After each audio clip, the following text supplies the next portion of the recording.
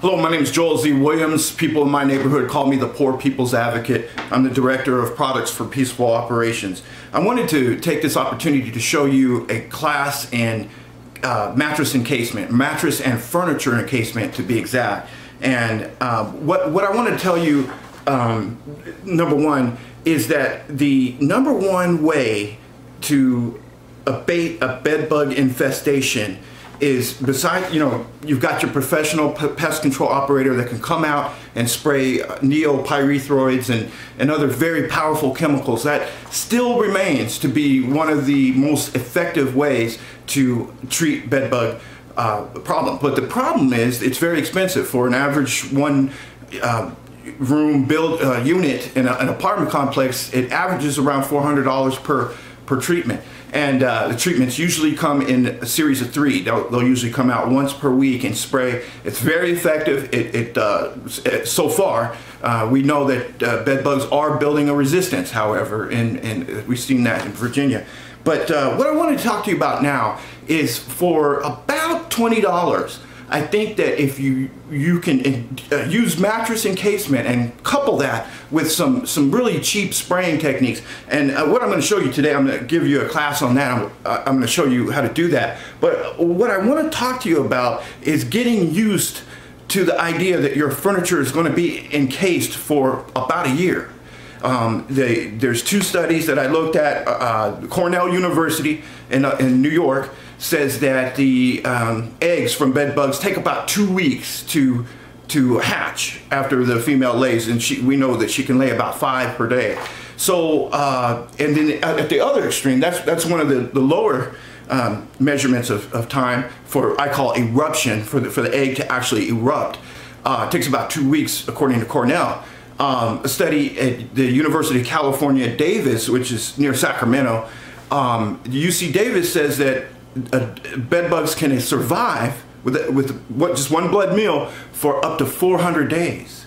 So you've got this this real short study that says if you encase your mattress or whatever, then you, you only have to wait two weeks before you can take the plastic off. And then the, at the other extreme, the UC Davis uh, says that the bed bug can live for up to 400 days in a, in a laboratory at room temperature uh, I want to err on the side of caution. So I'm going to advise you to get out your calendar and just mark on your calendar 400 days out, one year and 35 days, but one, one year and a month, and put that on your calendar as the time that you can take the plastic sheeting off. Because I get calls all the time, people going, well, how long do I have to have my mattress encased?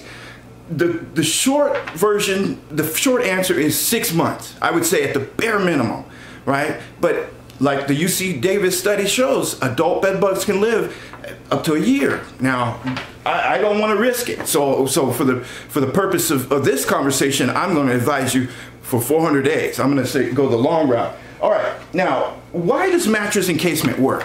Mattress encasement works because it literally imprisons bed bugs within the confines of whatever piece of furniture they're in. Think of a credit card. Think of, think of the width of a credit card. That's if you can stick a credit card in there, that that means a bed bug can fit in there, right? So bed bugs loves cracks and crevices. They absolutely love them. They prefer them, and they will hide in places that you can't see. And so a lot of times people will say, well, I, I, had, I did all this treatment, I did everything, but they still came back. How does that happen? That's because they're able to hide so well. And they have a, uh, the, the egg is resistant to, to most pesticides. So what I'm gonna show you today is skip all of that. Don't worry about that. If you lock them up, if you imprison them in, inside your, your, your mattress or your um, love seat, your couch, if you get the plastic, you seal it with duct tape, there's no way they can get to you. So your bed bug problem is, is almost always going to be eliminated by this step uh, I've probably handled personally, I've been on site probably at around 500. I would, I'd say that'd be a, a, a conservative estimate. Been about 500 different locations, and almost all of those locations, the bed bugs were found in one of two corners of the box spring of a mattress set. I know people will tell you, well, I've got them coming through the roof. That's, that happens you know, bed bugs, uh, there's certain species that actually prey on birds and bats. And so you see this a lot in the northern Midwest where the bats and birds that were in near the attic in the roof area will go, you know, summer, they'll go south for the summer and the bed bugs will get hungry, they'll drop down into that. I've seen that before. But I'm telling you, I've been to a lot of these places and almost invariably they are always in the box spring of the mattress. Now that's not to say that they won't, you won't find them in a nearby, uh, I've seen them behind a picture uh, uh that was hung on a wall which really blew me away. I couldn't believe that. They were harboring there. I've seen them in nightstands. I've seen them in other pieces of furniture. So that's not, I don't want you to think, well, I didn't see any in a box spring, so it must not have them. I'm not saying that, but what I'm saying is you can save yourself a lot of time usually if you if you have bed bug, you, you suspect bed bug epidemic, save yourself some time, turn that mattress, the, the box spring over, and I, I mean, almost 90% of the time they're gonna be there. Now, um, short of the, the encasement. If you don't have the means to encase your entire um, bed, furniture, all that, you got to get some plastic sheeting on that bed. You got to at least make a bed bug shield. And this was popularized, this, this strategy was popularized by my colleague. His name is uh, Jules Nosseau. It, it, it's a French Canadian guy, very crafty guy. This guy, I, he, I owe him, he's a saint. He helps people with bed bugs all over the internet. Um, but Jules says that uh, the just the laying of the plastic sheeting uh, over the bed makes it hard for the bed bugs to get to you. And let me show you why. I have a here uh, a photo, a close-up photo of a bug, thanks to the the United States Department of Health and Human Services, and I've purposely let's see if I can get this into the frame here. I've purposely overexposed this picture so that I can kind of draw your attention to some of the bedbug anatomy. Now here, if I, I know you can't probably see this well, but I want you to get the notion that bedbugs have very small claw-like appendages that they use on the very tips of their of their feet. That's how they use. Uh, that's how they, they they use that to cling on to fabric. And and and if you if you if you can imagine a kind of a lobster claw uh, under a microscope, you know that's how they they, they kind of grip it, you know, clamp it. And um, with plastic, they're not able to get, they can't get a firm footing. And so plastic is, is a natural enemy to that. I mean, it's, it works against that. So, for that reason, we can exploit what I call, um, it's mattress encasement. But what I want you to get the idea of is you can get some of this contractor's grade plastic sheeting, and this is four mils thick. Um, and this is 10 feet of it 10 by 25 feet. This roll here cost, uh, I think I got it for about $11, but I, I, imagine it probably would be cheaper some other places. Now, you, you, certainly can get a different brand. I don't, I don't know if it matters that, that you get this brand, but it's four mils thick. And the reason why I, I recommend getting the thicker variety is because you're gonna have this on your furniture for about a year and a month. So you're gonna, you know, when you sleep, you sleep tough sometimes. You, you, you move around, you might even eh, participate in some eh, other activity on your bed. So you need to have it where it's going to be tough enough to resist that. And for that reason, you're going to seal it with duct tape. Okay, and I'm going to show you here in a minute. But what I want you to get the concept is you're going to have to get used to sleeping on plastic. And you could put sheets over it after the uh, period. I would say two months. Um, you can surely certainly won't have to sleep directly on the plastic after the bed bugs have had time to erupt uh, in, uh, in, the rest of the uh, room. But what I would advise you is to just keep that plastic on there and just get get used to the crinkling noise. I mean, that's worse. I mean, that's that's a better alternative to, to being bed every night. But duct tape, get a good quality duct tape too. Don't scrimp here, okay? Get something that's gonna be real tacky and something durable, all right? Now, when you turn that box spring mattress over, a lot of times you're going to encounter bed bugs. They're going to be crawling and trying to get away because you've discovered their harborage, right? Well, back in 2010, I developed the Phoenix method. And I, I don't know if you guys can see this really good, But the Phoenix method, what it, what it basically boiled down to is I discovered that if you put chlorine, bleach, and, and water together and you spray it directly on the bed bugs, it kills them instantly, right? Well, the problem with that is, of course, it's going to stain any clothing, bed, bed sheet clothing. It's going to it's going to bleach it. It's going to turn it white. So uh, we did, we discovered that alcohol, rubbing alcohol, above 90% or greater, this is this happens to be 91%, will also work to kill the bed bugs on direct, but you, on contact. So I'm not advising that, that you use this alone, that you that you use the Phoenix method alone to um, abate the, the bed bug infestation. But when you, when you turn that box spring mattress over and you've got them crawling all over the place, knock them down. Spray some of this directly on them, and and you could put this in a squirt bottle, squirt it on them right then before you wrap them up. And that way, you, you run you, the risk that you're going to, one or two of them is going to scurry away and get somewhere else is going to be diminished. Okay, so I want to I want to recommend that. Um, once you get them knocked down, once you turn that bed over and you get it knocked down, move quickly. You know, the, the longer that it takes you to, to encase them, the longer they have to try to scurry out and, and get into another area of your house. Okay, let's begin. Okay, so what we have here is your basic box, uh, you know, mattress and box spring setup. This is, a, of course, a twin size, small size, and this is typically the type of bed that you might encounter if, at a college or a, a dorm, you know. And so I'm going to show you on this mattress and box spring set because I think it's going to be a lot easier for me to move around and show you. Okay.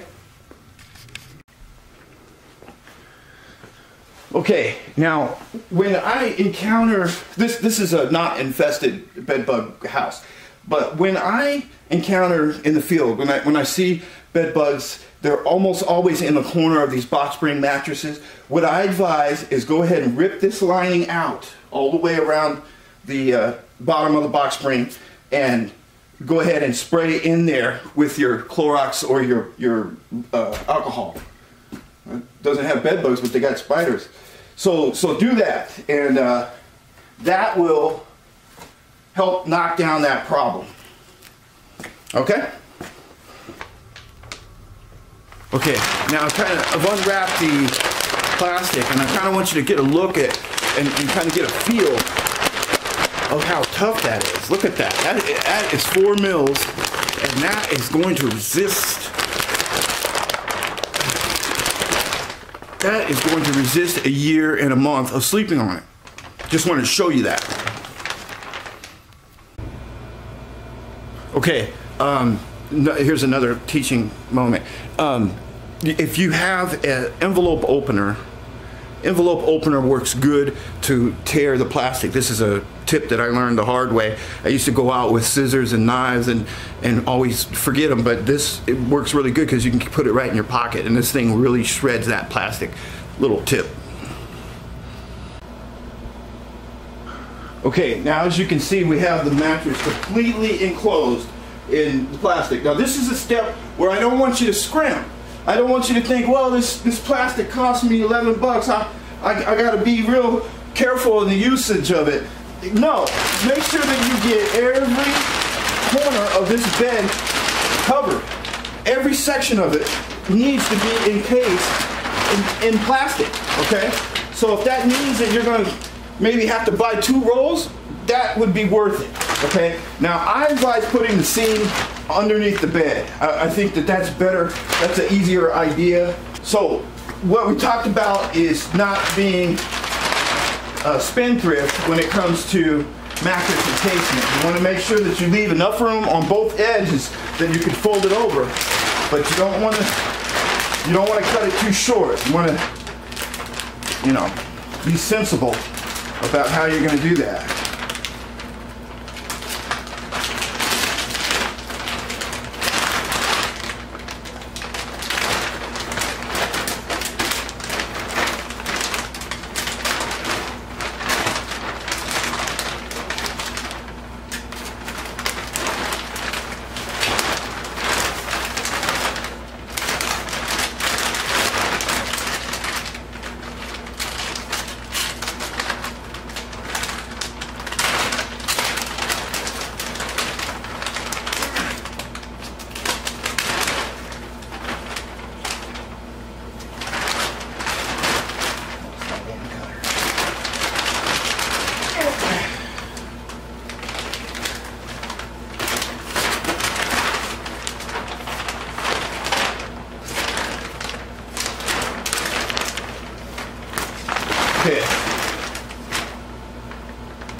Prefer to put the seam on the underside.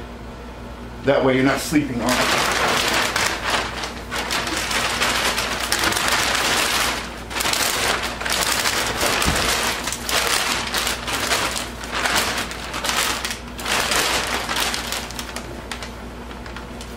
And there's really no science to it. I'm sure people are gonna, some people are gonna be neater than others. But uh, any, any, anything you can do to imprison these bed bugs is, is a step forward.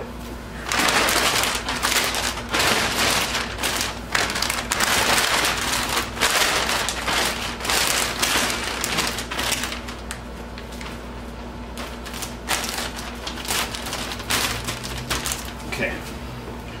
Now, let's get this side all the way done.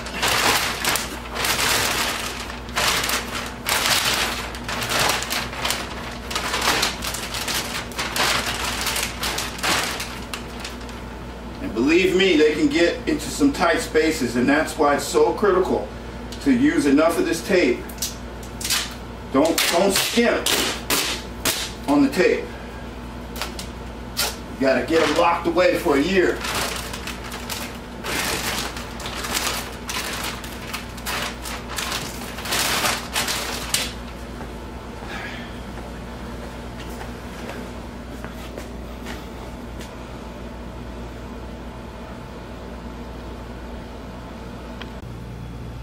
Okay, now I've uh, finished doing the corners and now I want to just show you, this is going to be the master seam.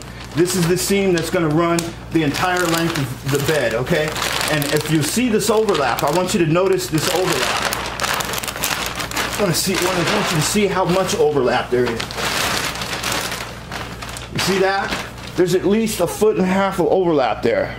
Now that's important because bed bugs are going to go, they're going to naturally sense the corner. They're going to try to find a way out. And this really complicates things for them because it, get, it makes them, forces them to have to travel all this distance. And now that we know about the hooks on their, their feet, we know that that makes it, that's, that's like going through the Mojave Desert for them. It's going to be very difficult. It's one more obstacle to, uh, for them to get out.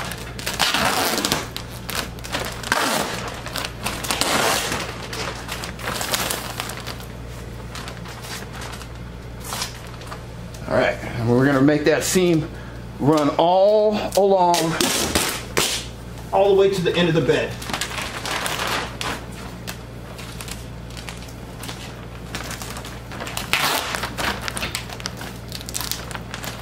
And wherever we have tape seams, we're gonna overlap the seams of the tape as well. So there's no gap.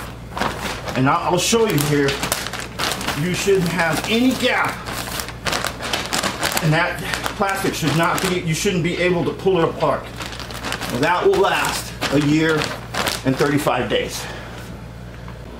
Okay, now you can see we've got a completely encased box spring mattress. I've always found, whenever I go out in the field and do these things, I've always found that in uh, houses where there's a man and a woman, the women are always better than men at, at making this thing look neat. So for the, you know, I'm by myself today, so uh, uh, it's it's not as neat in, as it could be. But I, I, wanted I wanted to show you how that's done. Now, and uh, bed bug infestations, like I, I discussed earlier, Jules Nasso talks about the bed bug shield. Now, at the bare minimum, this is something that you should do if you have if you can't afford the, to completely encase the furniture this is the, the next stop, you know, stopgap procedure that you could do. Now, a bedbug shield, this piece of plastic is too small, but I don't, I don't want to waste anymore. But I want to show you that if you are going to make a bedbug shield, you should cut a strip of plastic to completely go over your mattress so that it drapes near the ground. It's not touching the ground, but near the ground. It should be all the way down there, okay? Now, that is a not the preferred method. If you, whew, I know I haven't done this in a while, I'm kind of winded. If, uh, if you can afford it, you certainly want to encase the entire mattress, but this is a stopgap measure, the bed bug shield, as, as Jules calls it. But uh, if you can get a sheet of plastic between you and the bed, that's the next best thing to do.